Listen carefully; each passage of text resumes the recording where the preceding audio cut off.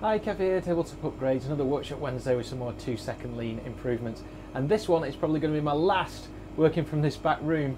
If you look out here, the workshop is pretty much finished. So uh, I'm going to be moving in there over the next seven days, which is really exciting. First change is that I've upgraded my camera system. It's actually not an upgrade, it's one I've had for a long time and I've been using it uh, just for uh, producing product videos. But I thought, well, why not use this amazing piece of kit um, for the two second lean video. So hopefully you should get a better picture quality and better sound. Uh, next we'll get into some of the ones I've recorded throughout the week. So slowly starting the big move into the workshop, got the workbenches in now and um, doing my first little bit of work editing this video in fact here in the workshop so really exciting and I also last night managed to have a bit of a test of some studio lighting so I run a few YouTube videos which really helped my sales so uh, this is starting to come together now and the next month is going to be completely transformative. One of my most popular products are these wound trackers. Um, and basically it's a piece of acrylic with some printing on, got a magnet in the middle. So I need to be able to easily dispense magnets. So a while ago I made this little magnet dispenser. It's kind of hacked together with little bits glued on in random places. And I've, my hand's been forced and I've had to change from four to five mil magnets. So it gave me an opportunity to improve this design. And um, so I redrew it in the old CAD and here we have it. Here's a new version of it. It's got a magnet feed down the middle of it. And I'm going to use this with a solenoid one day, but basically the magnets come out always in the correct polarity and um, it's a great piece of kit that makes my job a lot easier. I use masking tape to pack up all my products. Uh, this is the tape dispenser so it puts out the exact amount that I need every time with no wastage. But sometimes I have to use Gorilla Tape on some of my processes on the laser cutter and I have to rip that by hand which isn't a problem but I rip it to random lengths. So what I've done, simple, I've just put a little black marker on here. That's the perfect length that I need every time. Takes me a second, don't waste any tape. The big improvement that I want to make this week is to sort out my Kanban system. I've been getting loads of good help in the chat, particularly from Phil and Andrew, so thank you so much. Um, this is my current situation. This is going to be my before video. So an improvement I made the other week is I made this little queue system. So when I've got a job coming up, it enters the job queue. And then as these pass through the laser, this basically goes passes to this position, next job. When it hits next job, I grab the material according to the card instructions, put it down the side. Now when it hits active job, I basically load the program, hit go. Um, current problems with this are that uh, the text rubs off, so I need a printed version. There's also a lot of searching through the programs uh, to find the right program name. I did start putting the program number, but it's just totally impractical. As soon as I update a program, all the programs have shifted. I've got to find everything again. So um, let's do it. We'll time it, see how we get on. So hit the timer. We'll go. So I'm hitting uh, arrow packaging. So put the material in, set the focal distance, and this is an improvement I made the other week. I use a gauge block now instead of the ridiculous acrylic gauge that the manufacturer gives you. So that's set. I then go to the control and then I've got to flick through and I know it's in here somewhere um, so I've started using this format here um, I've gone past it. I'm not actually making this up maybe it's because I'm filming it's taking longer. Arrow packaging that's the one. Check the preview that looks okay. Enter it takes a second to load. Close the lid hit start. 46 seconds so I want to improve on that. And not only is there a lot of time spent there, but also mistakes can arise. Managing file versions through the control is difficult. I want to start using the PC wherever possible so that I can keep on top of uh, the correct version. So we'll make some changes, see how we get on. Okay, so I've made some changes.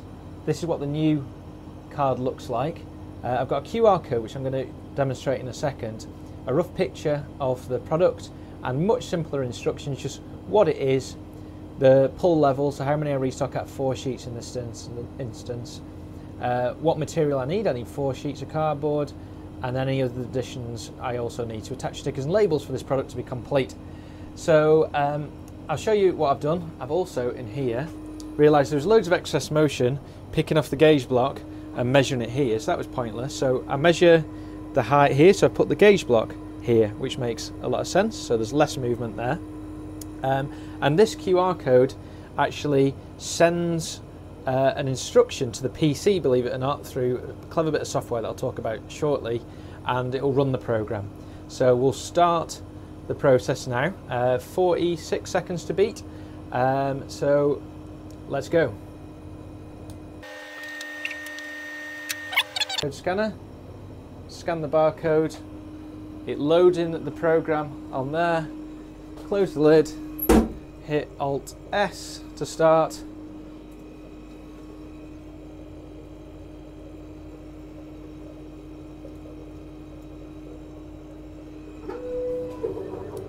Right, with some faffing, that was 37 seconds, 10 seconds off. I can definitely get that faster.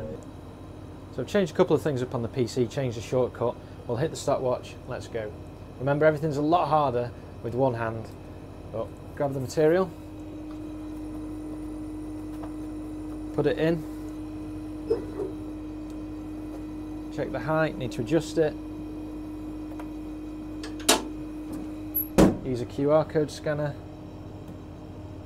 scan the code, over to the PC, it's loaded the program, highlight, start, 26 seconds. So that is near enough halved the time um, for that, which is probably going to save me about 20 minutes a week.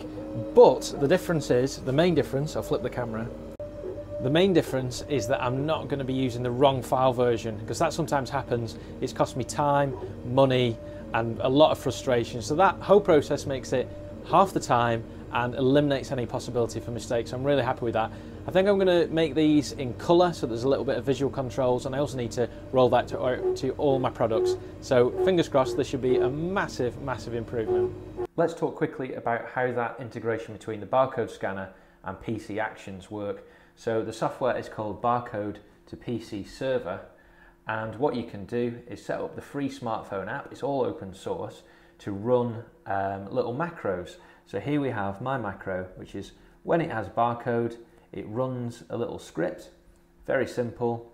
Um, the script simply says, use this piece of software to open this file location, and the barcode itself is just a string which represents the file name.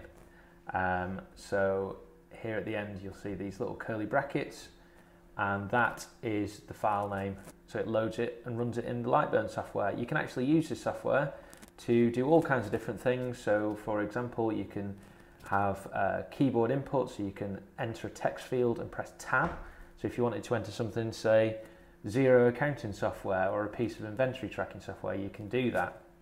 So this is uh, really novel because usually barcodes are just used to run a URL which points to either some standard work or maybe a YouTube video um, or perhaps even just pass a text string into a spreadsheet. But this is a piece of free software, allows a lot cleverer stuff to do, and I am using it to actually load in the um, laser cutter program so that it's ready to go. So this is a major upgrade and something I'm going to look forward to rolling out across all my products. Should make things a lot easier.